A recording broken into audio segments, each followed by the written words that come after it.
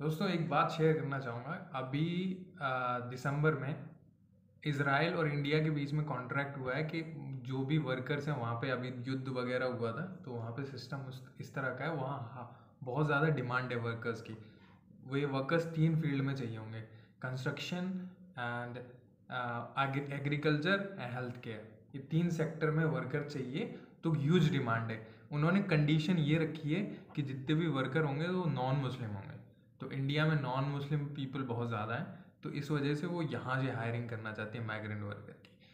तो यहाँ तक तो चीज़ें सही थी, पर जब इन्होंने रिक्रूटमेंट एजेंसीज़ को, जो कंसल्टेंसी है, जो विदेश का काम करती हैं ओवरसीज़ का काम करती है, उनको कॉन्ट्रैक्ट दिया कि हाँ हमको ये वर्कर चाहिए, तुम अरेंज करके दो।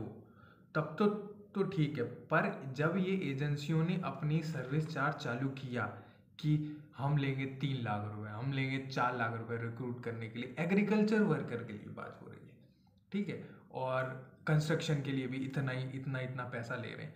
तो ये पाँच साल का बोल रहे हैं कि हम पाँच साल का कॉन्ट्रैक्ट देंगे, पर अगर व्यक्ति पाँच, तीन, चार लाख रुपए देगा यहाँ पे तो पहली बात तो सिक्योरिटी नहीं है यहाँ पे। बिल्कुल जाना नहीं चाहिए वर्कर्स को सिक्योरिटी नहीं है, क्योंकि पहली बात यहाँ पर इंडिया में काम और विदेश में काम टोटली अलग तरीके से होता है।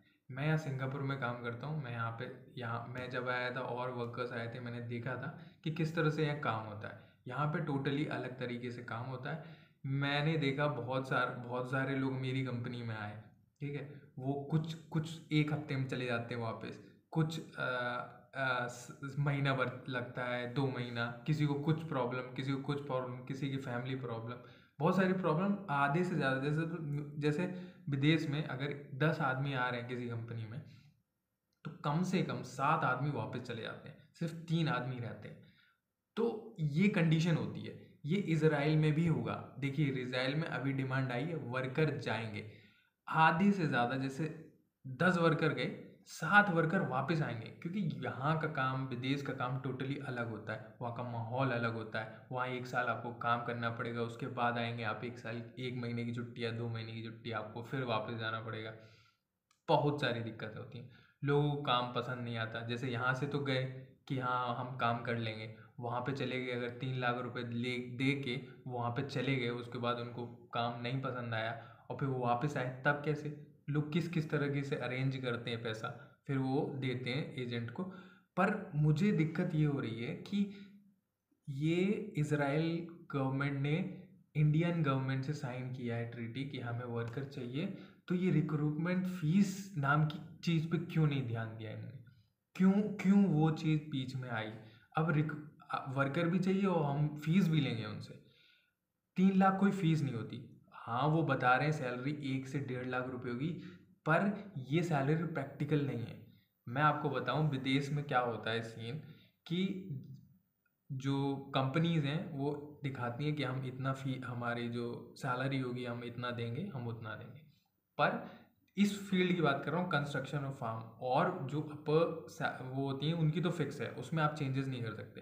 पर कंस्ट्रक्शन एग्रीकल्चर हेल्थ केयर इन सब में क्या होता है कि जब वर्कर आता है उस कंट्री में, उसके बाद उसको उसको ट्रायल पे रखा जाता है, वो दस दिन, पंद्रह दिन रख के उसके उसके बाद उसको दूसरा पेपर थमा देते हैं कि यू आर नॉट आप उस उस स्तर पे काम नहीं कर रहे हैं that's why we are decreasing your salary हैं? और अगर आपको काम करना है तो भैया काम करो, नहीं करना है तो भैया वापस जाओ। और आपने जो पैसे लगाए हैं, वो भी गए। तो ये कुछ मैंने देखा अभी यूट्यूब में कि एग्रीकल्चर की जो वैकेंसीज हैं उसमें वो इंटरव्यू भी नहीं ले रहे। सीधे सीवी सिलेक्शन है। दूसरे कंस्ट्रक्शन सेक्टर है उसमें वो इंटरव्यू भी ले रहे हैं। पर आप कभी भी किसी कि, किसी के इंटरव्यू से आप ये जान नहीं सकते कि वो व्यक्ति वहाँ पे काम कर पाएगा या नहीं कर पाएगा। खासकर कंस्ट्रक्शन सेक्टर में। कंस्ट्रक्शन सेक्टर का काम ही अलग तरीके से होता है। मैं खुद एक कंस्ट्रक्शन कंपनी में काम करता हूँ। मुझे पता है कि किस तरह से काम किया जाता है यहाँ पे। ठीक है? तो अगर वो तीन लाख रुपए दे के जाएगा इसराइल तो अगर उसको काम नहीं पसंद आया तो वापस आएगा, उसका तो पैसा डूब जाएगा। ये अगर कोई प्राइवेटाइज चीज़ होती प्राइवेटाइज जैसे कोई प्राइवेट कंपनियाँ हैं उन्होंने बोला कि हमें वर्कर चाहिए, ले लो और ये हो जाएगा। पर इसमें जब गवर्नमेंट इन्वॉल्व है गवर्नमेंट ने साइन किया कि हाँ हम अपने वर्कर्स भेजेंगे, तब ये कंपनियाँ इतना इतना पैसा ले रही हैं, ठीक है? और जो जो प्रॉमिस कर रही हैं सैलरी का, वो गारंटीड इतनी सैलरी प्रैक्टिकल नहीं है। गल्फ कंट्री में भी इतनी सैलरी नहीं मिलती वर्करों को। ये जो बता रहे हैं एक से डेढ़ लाख रुपए, ये एग्रीकल्चर वर्कर को सिर्फ़ अमेरिका कनाडा ऑस्ट्रेलिया और कुछ यूरोपियन कंट्रीज़ में मिलती। है सारी यूरोपियन कंट्रीज़ में इतनी सैलरी नहीं है। वो भी एग्रीकल्चर वर्कर के लिए और कंस्ट्रक्शन सिर्फ़ ये बड़ी जो कंट्रीज़ हैं, उसी में। पर ये ये छोटे छोटे वो बगल में है, गल्फ, जॉर्डन है बगल में, सऊदी अरेबिया के बगल ही में इसराइल वहाँ बता रहे हैं, इतनी सैलरी, ये प्रैक्टिकल नहीं है, बिल्कुल वो वहाँ पे जाएँगे, उसके बाद उनकी सैलरी डिक्रीज कर दी जाएगी, ये गारंटेड है। क्योंकि प्रैक्टिकल नहीं है ना चीज़ें, आप खुद ही समझे, बगल में सऊदी अरेबिया, वहाँ पे बीस से पच्चीस, दस, बीस से पच्चीस हज़ार रुपये देते हैं वर्कर्स को, और वो वहाँ पे डेढ़ लाख रुपए देंगे। नहीं, कदापि नहीं, हो ही नहीं सकता। वो इधर से नहीं ले, लेंगे वर्कर्स ऐसा नहीं है। तो ये इम्पॉसिबल है। वहाँ पे जाएगा, उसके बाद वो बदल दी जाएगी सैलरी फॉर श्योर और ये जो पैसा ले रहे हैं, इसको अगर अरेंज करके आप पचास हज़ार ले लो ना रिक्रूटमेंट फ़ीस बाद में आप बढ़ा देना। जैसे पचास हज़ार रिक्रूटमेंट फ़ीस ली, वहाँ पे वो एक महीना, दो महीना छः महीना काम कर रहा है। अगर उसे सही लगा, वो बाकी पे कर देगा हाँ? आप कॉन्ट्रैक्ट कर लो वैसा। यहाँ पे भी तो कॉन्ट्रैक्ट होता है ना। कॉन्ट्रैक्ट होता है, उसके बाद वो साइन करता है कि हाँ ठीक है, हम जाएँगे। तो कंपनी खुद ही इन्वॉल्व हो जाए ना इसमें कॉन्ट्रैक्ट कर लें कि अगर वो आ, उसको वहाँ पे वो रुकता है तो बाकी बाकी फ़ीस वो रीपे करेगा ठीक है? या उसकी सैलरी से कट जाएगी। और रिक्रूटमेंट फ़ीस वो पचास हज़ार दे रहा है वो वीज़ा फ़ीस समझ लो और फ़्लाइट फ़ीस समझ लो कि हाँ कंपनी को उसका झेलना नहीं पड़ेगा इन केस उसको पसंद नहीं आया तो कम से कम उसने फ़्लाइट का और वीज़े का तो फ़ीस दिया ही, दे ही दिया समझ पचास हज़ार उसने जमा किया तो पचास हज़ार सही है, पचास हज़ार बेस्ट है, बाकी फ़ीस उसकी सैलरी से कटनी चाहिए। क्योंकि यहाँ गवर्नमेंट इन्वॉल्व है, सरकार इन्वॉल्व है। कोई कोई वो थोड़ा ना कि प्राइवेट का कोई काम है कि हाँ आ जाओ आ जाओ करके। जब भी गवर्नमेंट इन्वॉल्व होती है तो उसमें रूल रेगुलेशन के साथ होता है। तो पचास हज़ार ठीक है बाकी सैलरी से कटना चाहिए अगर गवर्नमेंट है इन्वॉल्व है तो। अगर इस तरह से अगर कोई जा रहा है ना मैं मुझे मुझे जिस तरह से लग रहा है तीन से चार लाख रुपए नहीं देना चाहिए पर जो इस इस तरह के लिए। और जो सैलरी का ये प्रॉमिस कर रहे हैं वो सैलरी प्रैक्टिकल नहीं है आप खुद से समझ लो। खुद से देख लीजिए आप आसपास की कंट्रीज़ देख लीजिए वहाँ के सैलरीज क्या चल रही हैं। तो आ, आप खुद ही देखिए कि वो किस तरह से दे सकते हैं इतना पैसा। इतना दे अभी उनका यहाँ युद्ध वगैरह हुआ है उसका उनकी वैसे ही इकोनॉमी की ऐसी तैसी मर चुकी है। उसके बाद वो वर्कर्स को कैसे पैसा दे देंगे?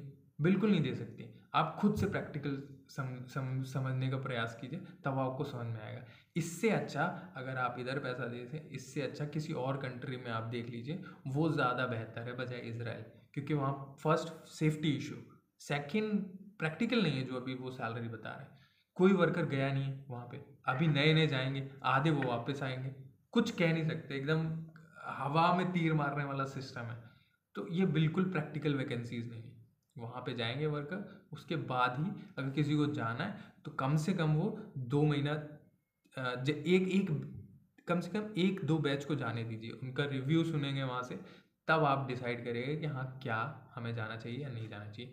क्योंकि अभी अभी कुछ निकालिए। ऐसा थोड़ा ना कि एक बार में वो सारी भर लेंगे। कुछ वर्कर मंगाएँगे, उनकी हालात देखेंगे, वो इस तरह से काम करते हैं। उसके बाद ही और कोटा भेजेंगे कि हाँ चलो, ये वर्कर ठीक है, चलो, और वर्कर मंगा लेते हैं। तब आप सेकेंड बार में चांस मार सकते हैं। तब तक आपको पता भी चल जाएगा कि हाँ भैया, किस तरह से वहाँ माहौल रखा है, किस तरह से उनको रह, रख रहे हैं, खाना कैसे दे रहे हैं फैसिलिटी कैसे दे रहे हैं। अगर आप पहली बार में चले गए तो भैया मुश्किल में पड़ जाएँगे। मेरे हिसाब से तो आपको नहीं जाना चाहिए अभी अभी वेट करना चाहिए, क्योंकि अभी अभी उनने खोली है वैकेंसी अभी और भी आएँगी ठीक है? तो अभी आपको बिल्कुल इसराइल के लिए अप्लाई नहीं करना चाहिए। मेरी तरह से बिल्कुल ना है आप वेट कीजिए। वेट कीजिए आप, दूसरे बैच का वेट कीजिए। आप पहले रिव्यू देखिए, क्योंकि आप एक साल के लिए नहीं जा रहे पाँच साल का कॉन्ट्रैक्ट होगा। एक साल के लिए नहीं जा रहे कि हाँ चले गए, वापस आ गए। पाँच साल का कॉन्ट्रैक्ट होगा तो आपको इतना नहीं इतना नहीं बनता कि आप चीज़ों को सोच समझ के जाएँ। बिल्कुल, आपको सोच समझ के जाना चाहिए। आई होप आप समझ पाए होंगे जो मैं शेयर करने का प्रयास कर रहा था। Thank you for watching